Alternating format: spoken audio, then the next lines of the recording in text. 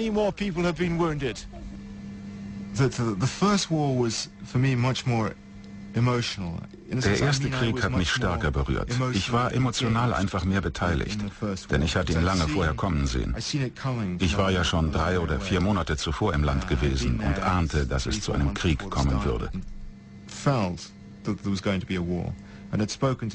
Ich hatte auch mit Tschetschenen darüber gesprochen.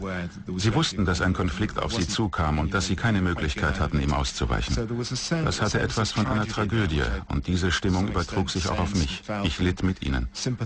Außerdem hatte der Widerstand der Tschetschenen in diesem ersten Krieg etwas Heroisches. Chechen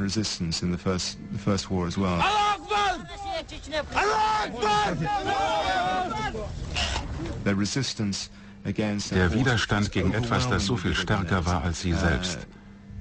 Ihr unbeugsamer Durchhaltewille musste einem einfach imponieren. Sie gewannen diesen Krieg ja nahezu von verlorenem Posten aus. Sie besiegten die Russen, vertrieben sie aus Grozny und brachten sie dazu, das Land zu verlassen.